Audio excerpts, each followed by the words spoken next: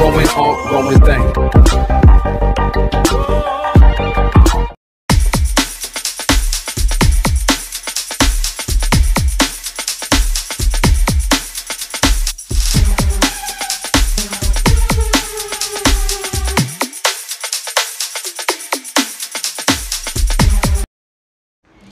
Hi friends എല്ലാവർക്കും നമസ്കാരം.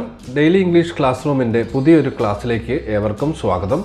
ഇന്നത്തെ ക്ലാസ്സിൽ നമ്മൾ എസ് എസ് എൽ സി പുതിയ പാറ്റേൺ അനുസരിച്ച് തയ്യാറാക്കിയ ഒരു ക്വസ്റ്റ്യൻ പേപ്പറും അതിന്റെ ആൻസർ കീയുമാണ് ഡിസ്കസ് ചെയ്യാൻ പോകുന്നത്. അപ്പോൾ പുതിയ പാറ്റേൺ അനുസരിച്ചാണ് ക്വസ്റ്റ്യൻ വരിക. അപ്പോൾ ആ രീതിയിലുള്ള ധാരാളം ക്വസ്റ്റ്യൻ പേപ്പേഴ്സ് നമുക്ക് നെറ്റിൽ അവൈലബിൾ ആയിട്ടുണ്ട്. അപ്പോൾ ആ ക്വസ്റ്റ്യൻസും അതുപോലെ അതിന്റെ ആൻസർ കീയും നമ്മൾ പഠിക്കുകയാണെങ്കിൽ തീർച്ചയായിട്ടും വരാൻ പോകുന്ന പരീക്ഷ അതേ പാറ്റേൺ തന്നെ ഫോളോ ചെയ്യുന്നത് കൊണ്ട് ആ, കുറേ ക്വസ്റ്റ്യൻസ് ആവർത്തിച്ച് വരാനുള്ള സാധ്യത നമ്മൾ കാണുന്നുണ്ട്. അപ്പോൾ അതുകൊണ്ട് നിങ്ങൾക്കായിട്ട് ഇവിടെ ഒരു മോഡൽ ക്വസ്റ്റ്യൻ പേപ്പർ അതിന്റെ ആൻസർ കീയും കാണിക്കുകയാണ്. അപ്പോൾ ഇത് സെറ്റ് വൺ എന്ന് നമുക്ക് വിളിക്കാം. പാർട്ട് വണ്ണിൽ നിന്ന് വന്നിട്ടുള്ള ചോദിച്ചിട്ടുള്ള ചോദ്യം read the following passage from the extract the adventures in a banyan tree and answer any four questions അപ്പോൾ ആറ് ക്വസ്റ്റ്യൻസ് തരും അതിൽ നാല് ക്വസ്റ്റ്യൻസ് ആണ് നമ്മൾ എഴുതേണ്ടത്. എ സെക്ഷനിൽ കൊടുത്തിരിക്കുന്ന ആ ഒരു പാസേജ് ഇതാണ്. It was to be a battle of champions hissing defiance is fork tongue darting in and out അപ്പോൾ ഇവിടെ adventures in a banyan tree എന്നുള്ള പാഠത്തിലെ ഒരു പാസേജാണ് കൊടുത്തിരിക്കുന്നത്. ഇനി ഇവിടെയുള്ള ചോദ്യങ്ങൾ എന്തൊക്കെയാണ്? Who are the champions mentioned in the passage ഈ പാസേജിൽ പറയുന്ന ചാമ്പ്യൻസ് ആരൊക്കെയാണ്? അപ്പോൾ അതിന്റെ ഉത്തരം നമുക്കിങ്ങനെ എഴുതാം. The champions mentioned in the passage are the mongoose and the cobra ഇനി രണ്ടാമത്തെ ചോദ്യം നോക്കാം. രണ്ടാമത്തെ ചോദ്യം how did the cobra get ready for the fight how did the cobra get ready for the fight എങ്ങനെയാണ് ഈ കോബ്ര ആ ഒരു ഫൈറ്റിന് വേണ്ടിയിട്ട് റെഡി ആയത്? അപ്പോൾ അവിടെ കൊടുത്തിട്ടുണ്ട് the cobra ഡാറ്റഡ് its forked tongue in and out and raised three of its six feet off the ground and spread its spectacle hood അപ്പോൾ ഇതാണ് നമ്മൾ ഇതിന്റെ ആൻസർ ആയിട്ട് എഴുതേണ്ടത്. മൂന്നാമത്തെ ചോദ്യം how is the thick hair helpful to the mongoose ഇതിന്റെ ഈ ഒരു കട്ടിയുള്ള രോമം അതിനെ എങ്ങനെയാണ് സഹായിച്ചിട്ടുള്ളത് എന്നാണ് മൂന്നാമത്തെ ചോദ്യം. അപ്പോൾ അതിന്റെ ഉത്തരം നമുക്ക് ആ പാരഗ്രാഫിൽ നിന്ന് ഇങ്ങനെ എഴുതാം. The thickness of the mongoose's hair had shaped him from fatal bites on many occasions പലതവണയും അപകടങ്ങളിൽ നിന്ന് അതിനെ രക്ഷപ്പെടുത്തിയിട്ടുണ്ട്. ഇനി അടുത്ത ചോദ്യം. For what purpose did the crow and the myna settle on the cactus എന്തിനു വേണ്ടിയിട്ടാണ് ഈ മൈനയും അതുപോലെ ജംഗിൾ ക്രോയും അവിടെ കാക്ടസിൽ വന്ന് ഇരുന്നത്? അപ്പോൾ അതിന്റെ ഉത്തരം നമുക്ക് ഇങ്ങനെ എഴുതാം. The myna and the crow settled on the cactus to see the outcome of the battle എന്താണ്? അതിന്റെ റിസൾട്ട് ഉണ്ടാവുക എന്ന് അറിയാൻ വേണ്ടിയിട്ടാണ്. ഇനി അടുത്ത ചോദ്യം അഞ്ചാമത്തെ ചോദ്യം. How did the cobra stand on the defensive എങ്ങനെയാണ് കോബ്ര ഡിഫെൻസീവ് ആയിട്ട് നിന്നത്? അപ്പോൾ അതിന്റെ ഉത്തരം നമുക്ക് ഇവിടെ ഈ പാരഗ്രാഫിൽ നിന്ന് കിട്ടും. The cobra stood on the defensive by swaying from side to side and trying to mesmerize the mongoose into making a false move അപ്പോൾ ഒരു സൈഡിൽ നിന്ന് ഒരു സൈഡിലേക്ക് പത്തി വിടർത്തി ആടുകയും അതുപോലെ മംഗൂസിനെ മയക്കാൻ ശ്രമിക്കുക. മെസ്മറൈസ് മീൻസ് മയക്കുക. അപ്പോൾ മയക്കാൻ ശ്രമിക്കുകയും ചെയ്തു എന്നുള്ളതാണ്. ആറാമത്തെ ചോദ്യം pick out a word from the passage which means fighters fighters എന്ന അർത്ഥം വരുന്ന ഒരു വാക്ക് ഈ പാസേജിൽ നിന്ന് കണ്ടുപിടിച്ച് എഴുതാനാണ്. അപ്പോൾ അതിന്റെ ഉത്തരം കോമ്പാറ്റൻസ് അപ്പോൾ ഈ രീതിയിൽ ആറ് ചോദ്യങ്ങളാണുള്ളത്. ഇതിൽ നിന്ന് നാല് ചോദ്യങ്ങളുടെ ഉത്തരം മാത്രം നമ്മൾ എഴുതിയാൽ മതി. അപ്പോൾ പരീക്ഷയ്ക്ക് നമുക്ക് ഏറ്റവും നന്നായിട്ട് അറിയുന്നതും ഉറപ്പുള്ളതുമായിട്ടുള്ള നാലെണ്ണം സെലക്ട് ചെയ്ത് എഴുതാവുന്നതാണ്. ഇനി നമ്മൾ ബി സെക്ഷനിലേക്ക് പോവുകയാണ്. ബി സെക്ഷൻ എന്ന് പറഞ്ഞാൽ നോൺ ഫോക്കസ് ഏരിയ പോയമാണ്. അപ്പോൾ read the lines from the song blowing in the wind and answer the following questions അപ്പോൾ ബ്ലോവിങ് ഇൻ ദ വിൻഡ് എന്നുള്ള ആ കവിതയിലെ കുറച്ച് വരികളാണ് ഇവിടെ കൊടുത്തിരിക്കുന്നത്. What does the word mountain stand for അപ്പോൾ ഇതിന്റെ ആൻസർ എഴുതുന്ന സമയത്ത് പോയിട്ടിലെ വരികളല്ല നമ്മളത് സെന്റൻസ് ആക്കിയാണ് എഴുതുന്നത്. അപ്പോൾ ഇവിടെ മൗണ്ടൻ എന്നതുകൊണ്ട് ഉദ്ദേശിക്കുന്നത് എന്താണ് എന്നാണ് ചോദിച്ചിരിക്കുന്നത്. അപ്പോൾ മൗണ്ടൻ എന്നതുകൊണ്ട് ഇവിടെ ഉദ്ദേശിക്കുന്നത് the word mountain stands for the pride of the white people who believe themselves superior to the black people അപ്പോൾ വെള്ളക്കാരുടെ ആ ഒരു അഹങ്കാരം അതിനെയാണ് ഇവിടെ മൗണ്ടൻ സ്റ്റാൻഡ് ചെയ്യുന്നത്. അത് അതാണ്. ഇനി എട്ടാമത്തെ ചോദ്യം നോക്കാം. What is attitude of the man to the suffering people according to Bob Dylan what is the attitude of the man മനുഷ്യന്റെ ഒരു ആറ്റിറ്റ്യൂഡ് എന്താണ്? ആളുകളുടെ സഹനത്തെ സഹനം കാണുമ്പോൾ ഉള്ള ഒരു ആറ്റിറ്റ്യൂഡ് എന്താണെന്നാണ് ചോദിച്ചിരിക്കുന്നത്. അപ്പോൾ നമുക്ക് അതിന്റെ ഉത്തരമായിട്ട് the pretend that they are not seeing the sufferings of the people and they turn their head away from them അവരിൽ നിന്ന് മുഖം തിരിച്ചു കളയുകയാണ് ചെയ്യുന്നത്. ഇനി ഒൻപതാമത്തെ ചോദ്യം pick out the lines that refer to the denial of civil rights civil rights നിഷേധിക്കുന്ന ഒരു വരി ഇതിൽ ഏതാണ് പറയുന്നത് എന്നാണ് ചോദിച്ചിരിക്കുന്നത്. അപ്പോൾ ഒൻപതാമത്തെ ചോദ്യം yes and how many years can some people exist before they are allowed to be free അപ്പോൾ അവരുടെ സ്വാതന്ത്ര്യം കിട്ടുന്നത് എപ്പോഴാണ്? ഫ്രീഡം അല്ലേ? അപ്പോൾ അതാണ് ഇവിടെ സിവിൽ റൈറ്റ് ആയിട്ട് പറയുന്നത് സ്വാതന്ത്ര്യം. ഇനി പത്താമത്തെ ചോദ്യം നോക്കാം. പത്താമത്തെ ചോദ്യം pick out an example for visual image from the given stanza ഇതിൽ നിന്ന് ഒരു വിഷ്വൽ ഇമേജ് എഴുതാനാണ് പറഞ്ഞിരിക്കുന്നത്. അപ്പോൾ നമുക്കറിയാം ആ വരിയിൽ രണ്ടോ മൂന്നോ വിഷ്വൽ ഇമേജസ് ഉണ്ട്. അതിൽ ഏതെങ്കിലും നമുക്ക് എഴുതാം. മൗണ്ടൻ എഴുതാം സി എഴുതാം ഹെഡ് ഇതൊക്കെ നമുക്ക് വിഷ്വൽ ഇമേജിന് ഉദാഹരണങ്ങളാണ്. ഇനി നമ്മൾ രണ്ടാമത്തെ പാർട്ടിലേക്ക് പോവുകയാണെങ്കിൽ രണ്ടാമത്തെ പാർട്ട് നമുക്കറിയാം ഫോക്കസ് ഏരിയ പോയമാണ്. അപ്പോൾ ഇവിടെ lines return in early spring എന്ന ഫോക്കസ് ഏരിയയിലെ ആ ഒരു പോയത്തിൽ നിന്നുള്ള വരികളാണ് കൊടുത്തിരിക്കുന്നത്. അതുമായി ബന്ധപ്പെട്ടിട്ടുള്ള ചോദ്യങ്ങളാണ് ഇവിടെ കൊടുത്തിരിക്കുന്നത്. അഞ്ച് ചോദ്യങ്ങളുണ്ട്. അതിൽ മൂന്ന് ചോദ്യങ്ങളാണ് നമ്മൾ എഴുതേണ്ടത്. അതുതന്നെ ഓരോ ചോദ്യത്തിലും രണ്ട് ക്വസ്റ്റ്യൻസ് ഉണ്ടെന്നുള്ള കാര്യം നമ്മൾ മനസ്സിലാക്കുക. അപ്പോൾ രണ്ട് മാർക്കിന്റെ ചോദ്യങ്ങളായതുകൊണ്ട് തന്നെ രണ്ട് പോയിന്റ് നമ്മളിവിടെ എഴുതേണ്ടതുണ്ട്. What does the phrase blended notes mean when did the poet hear it അപ്പോൾ ബ്ലെൻഡഡ് നോട്ട്സ് എന്ന് പറയുന്നത് കൊണ്ട് എന്താണ് ഉദ്ദേശിക്കുന്നത്? എപ്പോഴാണ് കവി ഈ ബ്ലെൻഡഡ് നോട്ട്സ് കേട്ടത്? രണ്ട് ചോദ്യങ്ങളാണ് അതിൽ വരുന്നത്. അപ്പോൾ നമുക്ക് അതിന്റെ ഉത്തരം രണ്ട് കാര്യവും നമ്മൾ എഴുതണം.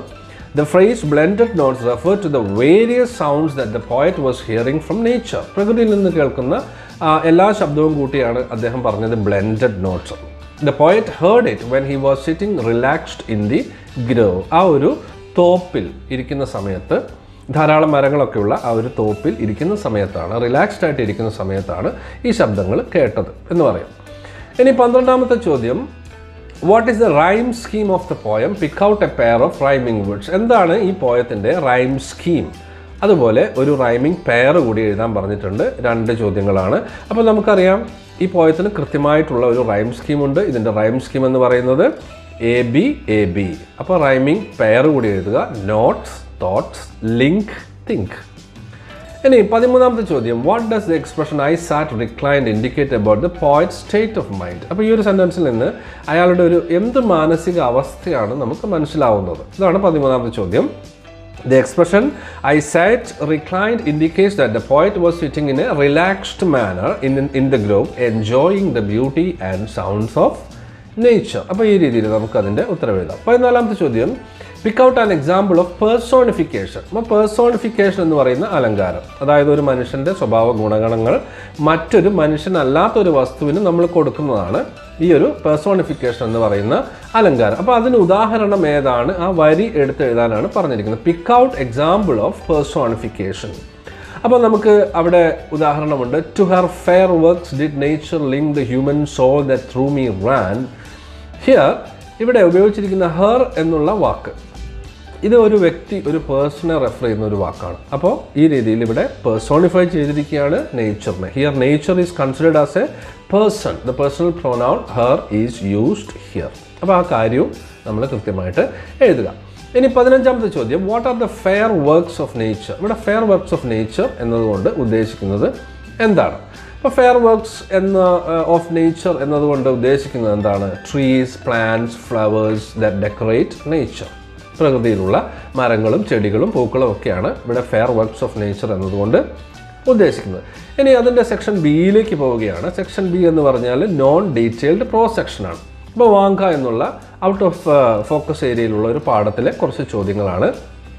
What was the hiding Vanka had the previous day hiding എന്ന് വെച്ചാൽ പണിഷ്മെന്റ് ആണ്. അപ്പോൾ വാങ്കയ്ക്ക് കിട്ടിയ കഴിഞ്ഞ ദിവസം കിട്ടിയ ശിക്ഷ അത് എന്താണെന്നാണ് ചോദ്യം.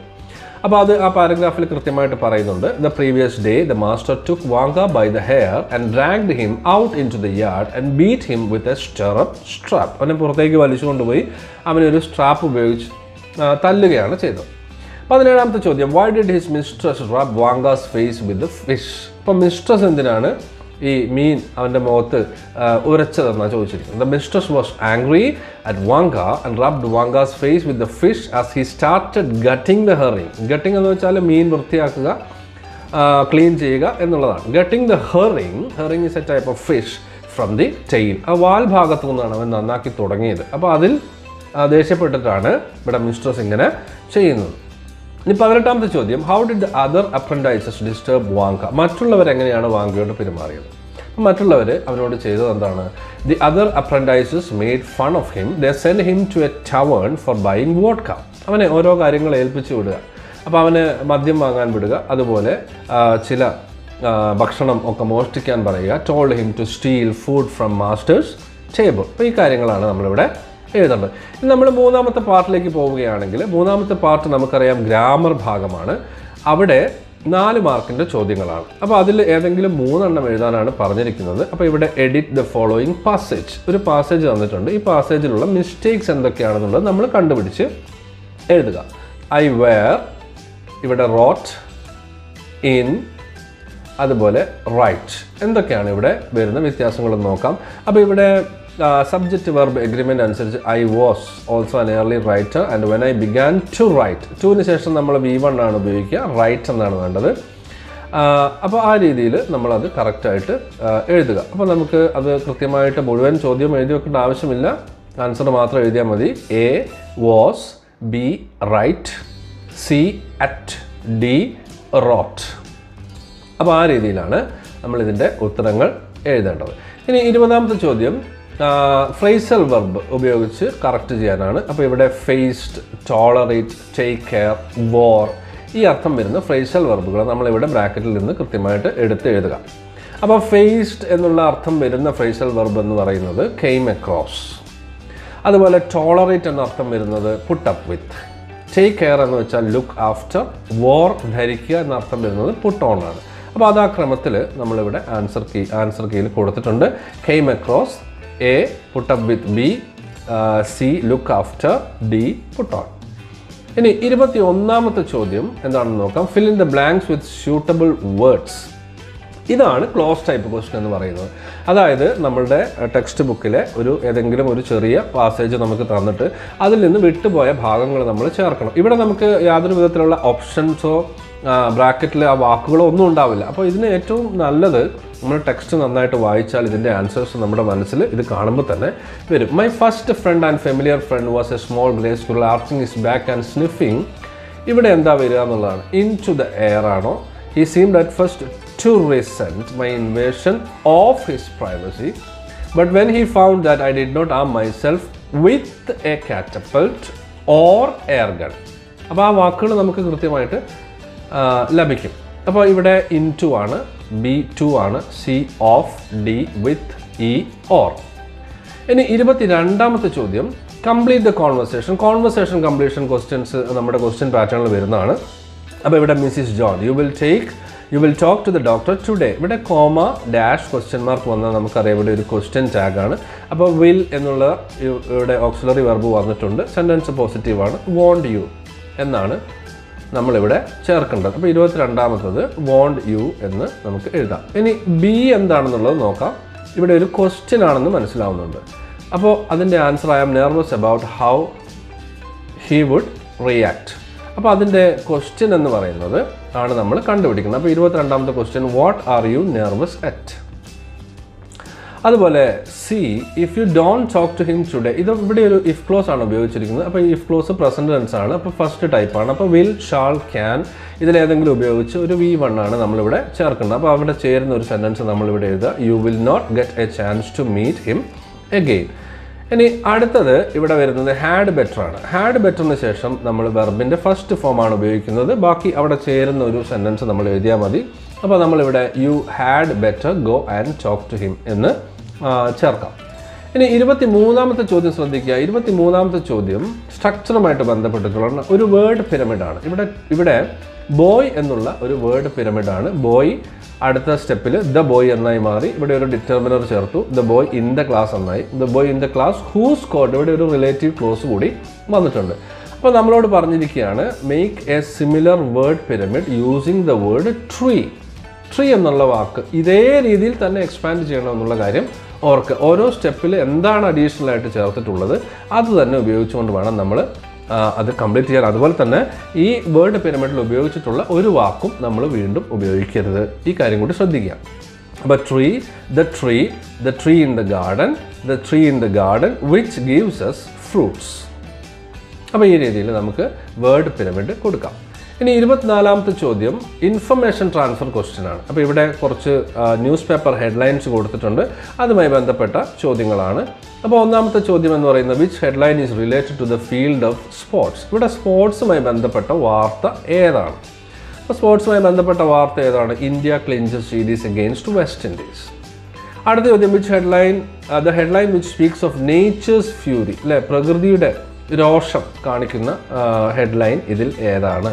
അപ്പോൾ നമുക്കറിയാം സൈക്ലോണിനെ കുറിച്ചാണ്. സൈക്ലോൺ കിൽസ് ഓവർ ട്വന്റി അതുപോലെ അടുത്ത ചോദ്യം. Identify the headline that hints at superstitious believe ഒരു അന്ധവിശ്വാസം മായി ബന്ധപ്പെട്ടിട്ടുള്ള വാർത്ത ഇതിലേതാണ് അപ്പോൾ frogs married off in hope of free മഴ പെയ്യാൻ വേണ്ടിയിട്ട് തവളകളെ തവളകളെ കല്യാണം കഴിപ്പിച്ച് വിടുന്ന ഒരു അന്ധവിശ്വാസത്തെക്കുറിച്ചുള്ള ഒരു ന്യൂസാണ് അടുത്ത ചോദ്യം. The headline the talks of a road mishap ഒരു റോഡ് അപകടത്തെ സൂചിപ്പിക്കുന്ന ക്വസ്റ്റ്യൻ ഇതിൽ ഏതാണ്? അപ്പോൾ ഇവിടെ twenty killed in road accidents അപ്പോൾ ഈ രീതിയിൽ ക്വസ്റ്റ്യൻ കൃത്യമായിട്ട് മനസ്സിലാക്കിയതിന് ശേഷം നമ്മൾ ആൻസർ എഴുതാം. പെട്ടെന്ന് നമുക്ക് എഴുതാൻ കഴിയുന്ന ഒരു ക്വസ്റ്റ്യനാണ് അതുപോലെ തന്നെ തെറ്റിപ്പോകാൻ സാധ്യതയുള്ള ഒരു ക്വസ്റ്റ്യനും കൂടിയാണ്. അപ്പോൾ നമ്മൾ ഒന്നുകൂടി കൺഫേം ചെയ്യുക. ഉത്തരങ്ങൾ ശരിയാണോ എന്ന് ഒരിക്കൽ കൂടി കൺഫേം ചെയ്യേണ്ടതുണ്ട്.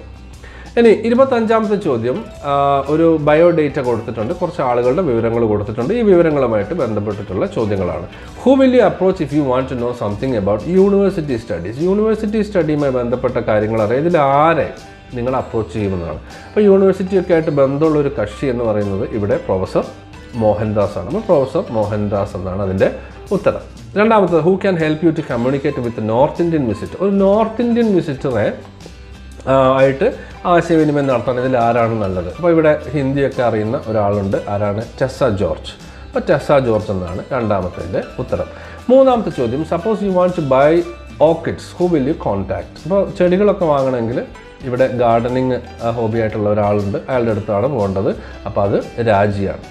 അടുത്ത ചോദ്യം you need to get recipe of a pudding how do you meet to get it അപ്പോൾ ഒരു പായസം ഉണ്ടാക്കാനുള്ള അതിന്റെ കുറിപ്പ് കിട്ടാൻ വേണ്ടിയിട്ട് ഇതിൽ ആരുടെ അടുത്താണ് പോവുക? അപ്പോൾ ആർക്കാണ് കുക്കിംഗ് ഇവിടെ ഹോബി ആയിട്ടുള്ളത്? ലതയാണ്. അപ്പോൾ ലത എന്നുള്ളത് എഴുതുക.